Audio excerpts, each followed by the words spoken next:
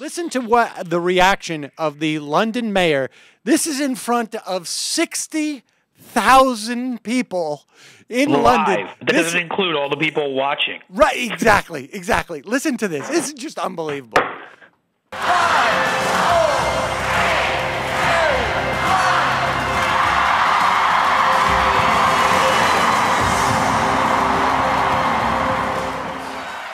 I've never seen anything like this in all my life.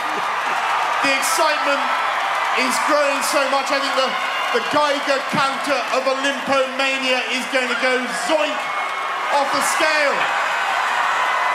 People are coming. People are coming from around the world and they're seeing us and they're seeing the greatest city on earth, aren't they?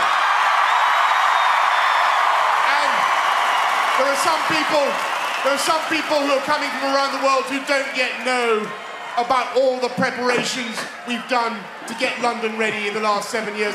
I hear there's a guy, there's a guy called Mitt Romney who wants to know whether we're, whether we're ready. He wants to know whether we're ready. Are we ready? Are we ready? Oh my God. Yes, we are. The Pause venues it. are All ready. right, stop, stop it. I mean, can you oh, imagine? please. Can you imagine Yes.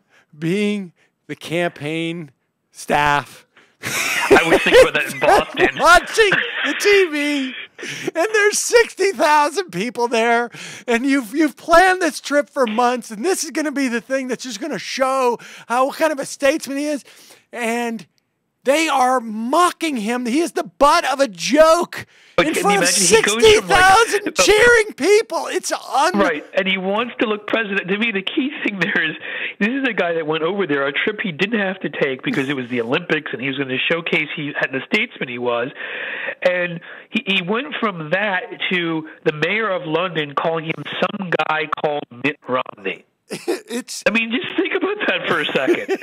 think about the way he phrased that. Some guy called. I mean, it's, I mean, it's like you've made it into a complete joke. you know, and and again, the Bain thing, which was one of his his highlights, because he won't talk about Massachusetts, has somewhat effectively been taken away from him and turned into a negative.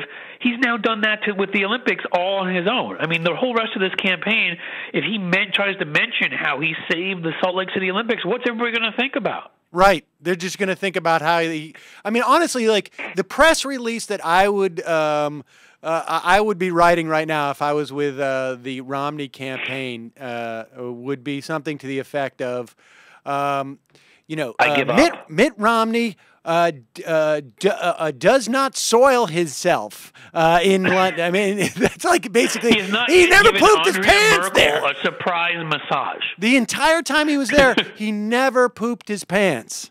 and and so That, that's the whole thing. Well, he, he, he, can say he has not yet, like like his Republican predecessor, sexually harassed the Brit- the German chancellor. it's it's Uh, so there's a step up. it's unbelievable.